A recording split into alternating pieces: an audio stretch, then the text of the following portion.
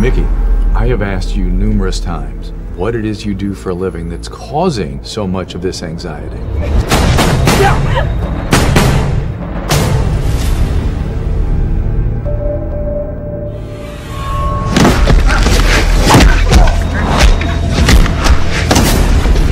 Remember I told you that I did something before I worked in the protection department? I worked in collections. Do I know you, man?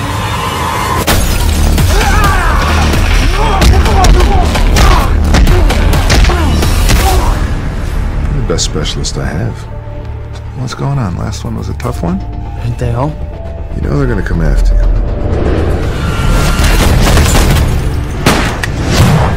Nobody said this job was easy.